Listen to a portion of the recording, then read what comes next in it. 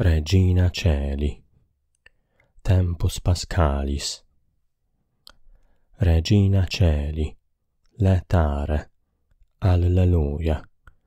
Cuiaquem meruisti portare Alleluia. Resurrexit sicut dixit Alleluia.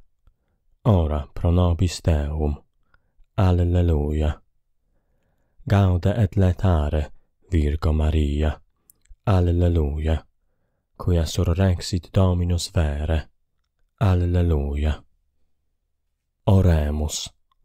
Deus, qui per resurrectionem Filii Tui, Domini nostri Iesu Christi, mundum letificare dignatus es, presta quesumus, ut per eius genetricem Virginem Mariam, perpetue capiamus gaudia vite, per eundem Christum, Dominum nostrum.